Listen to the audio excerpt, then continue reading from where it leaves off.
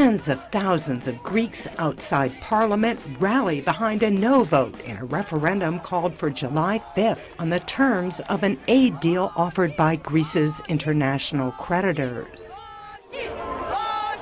A result that could push Athens out of Europe's currency union.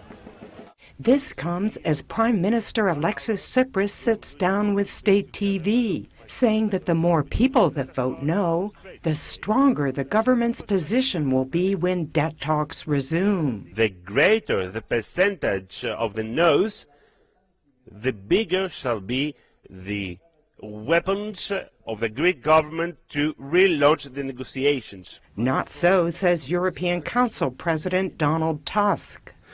Every government has a right to hold a referendum, therefore we respect the Greek decision. And it is not my role to interfere in Greek domestic politics. However, one thing should be very clear. If someone says that the government will have a stronger negotiating position with the no vote, it is simply not true. I am afraid that with such a result of the referendum, there will be even less space for negotiations. As people fill the streets in Athens, a Greek government official told Reuters that Greece is set to default on a 1.6 million euro loan repayment to the IMF Tuesday.